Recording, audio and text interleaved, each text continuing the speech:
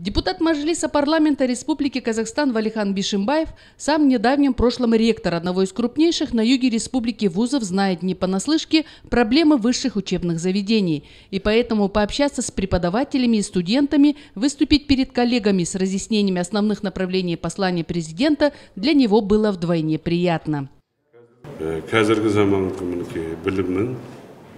Президент возлагает большие надежды на молодежь, и поэтому первостепенной задачей для будущих медиков и фармацевтов является получение необходимых знаний и навыков. Не останавливаться на достигнутом, постоянно совершенствоваться. В послании президента народу Казахстана подготовке высококвалифицированных кадров уделяется особое внимание. Это и понятно. Для реализации программы «Стратегия 2050» потребуется вклад каждого казахстанца, считают преподаватели Академии. Что значит послание президента для меня?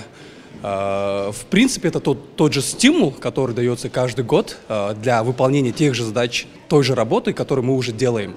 А, единственное, что нужно студентам освоить, так это дальнейшая работа, дальнейшее продвижение вперед во благо нашей страны, во благо нашей Родины.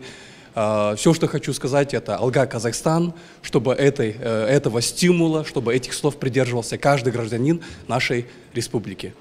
Коллектив фармацевтической академии всецело поддерживает послание президента страны. И преподаватели и студенты заверили, что готовы сделать все необходимое, чтобы Казахстан процветал.